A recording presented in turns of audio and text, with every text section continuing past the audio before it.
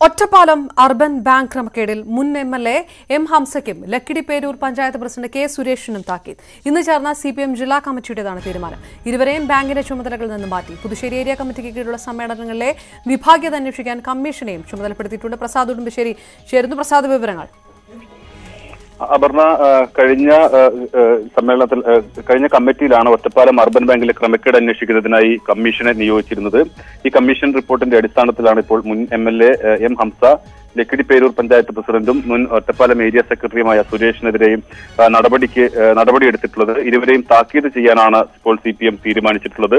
ബാങ്കിന്റെ വിപുലീകരണ പ്രവർത്തനങ്ങളിൽ വലിയ തോതിലുള്ള ക്രമക്കേട് നടന്നു എന്നുള്ളതാണ് കമ്മീഷൻ കണ്ടെത്തിയിട്ടുള്ളത്. അതോടൊപ്പം തന്നെ വാളയാർ ലോക്കൽ സമ്മേളനത്തിനുൾപ്പെടെ വലിയ പ്രശ്നങ്ങൾ നടന്ന പുതുശ്ശേരി ഏരിയ കമ്മിറ്റിക്ക് കീഴിലെ വിവിധ സമ്മേളനങ്ങളിൽ വിഭാഗീയത കണ്ടെത്തിയതായി പാർട്ടി ഇന്നത്തെ യോഗം വിലയിരുത്തിയിട്ടുണ്ട്. ഇതിന്റെ അടിസ്ഥാനത്തിൽ അന്വേഷണ കമ്മീഷനെ നിയോഗിക്കാനും തീരുമാനിച്ചിരുന്നു. കഴിഞ്ഞ ജില്ലാ സെക്രട്ടേറിയറ്റ് യോഗത്തിൽ ഇത് തീരുമാനമായിരുന്നെങ്കിൽ പോലും ഇത്തവണ ജില്ലാ കമ്മിറ്റി അതിന് അംഗീകാരം നൽകുകയാണ് ഉണ്ടായിട്ടുള്ളത് K V Ramakrishnan E N Suresh Babu എന്നിവരാണ് കമ്മീഷൻ അംഗങ്ങൾ. ഇവർ വാളയാറിലെ ലോക്കൽ സമ്മേളനം ഉൾപ്പെടെയുള്ള പുതുശ്ശേരി ഏരിയ കമ്മിറ്റിയിലേക്ക് മുഴുവൻ സമ്മേളനങ്ങളും വിലയിരുത്തുമെന്നാണ് എന്നാണ് വിലയിരുത്താനാണ് നിർദ്ദേശം നൽകിയിട്ടുള്ളത്. അതോടൊപ്പം തന്നെ കുഴൽമന്നം ഏരിയ സെക്രട്ടറി അബ്ദുൾ റഹിമാനോട് അവധിയിൽ പോകാനും ജില്ലാ കമ്മിറ്റി നിർദ്ദേശം നൽകിയിട്ടുണ്ട്. ഇദ്ദേഹത്തിനെതിരെ ഓഫീസ് കെട്ടിട നിർമ്മാണവുമായി ബന്ധപ്പെട്ട് ഉയർന്നിട്ടുള്ള ആരോപണങ്ങളുടെ അടിസ്ഥാനത്തിലാണ് ഇപ്പോൾ അവധിയിൽ പോകാൻ നിർദ്ദേശം നൽകിയിട്ടുള്ളത്.